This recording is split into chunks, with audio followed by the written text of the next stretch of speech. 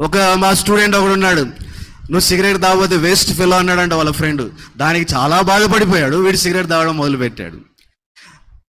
వాడు డ్రింక్ తాగకపోతే నువ్వు ఎప్పుడూ నువ్వు అసలు మెడికల్ స్టూడెంటే కాదన్నాడంట అతను ఫ్రెండ్. అందుకని వాడు ఏం చేశాడు? దాని గురించి హట్ అయిపోయి నన్ను అవమానపరుస్తున్నాడని తాగడం మొదలుపెట్టాడు. కాబట్టి ప్రేమన యవనస్తులు యవనస్తురాల చాలా జాగ్రత్తగా ఉండాం.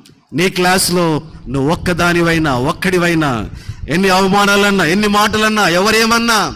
నువ్వు పనికి మాలిన వాడు యూజ్లెస్ ఫెలో నీకేం తెలియదు నువ్వు నాట్ నాట్ సెంచరీ ఫెలో ఎవరు నీకు అసలు నీకు కల్చరే తెలియదని నిన్ను ఎన్ని మాటలన్నా నువ్వు భయపడవద్దు.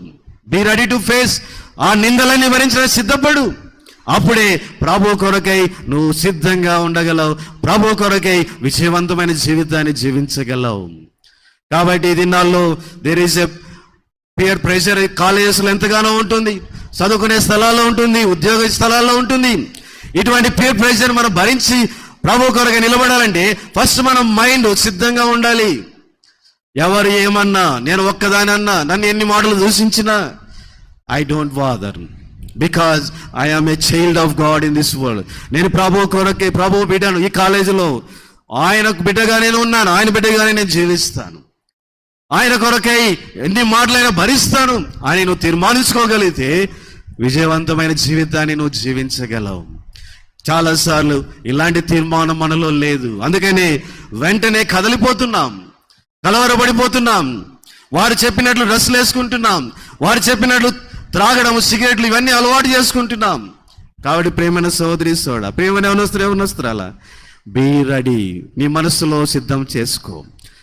Ready to face the ridicule ఎంత నింద వేసినా అవమానకరంగా మాట్లాడినా శ్రమ పెట్టిన నేను ప్రభు కొరకై జీవిస్తాను. ప్రభు కొరకై నేను ముందుకు సాగుతాను. ప్రభు నేను వెంబడిస్తాను అని తీర్మానించుకో.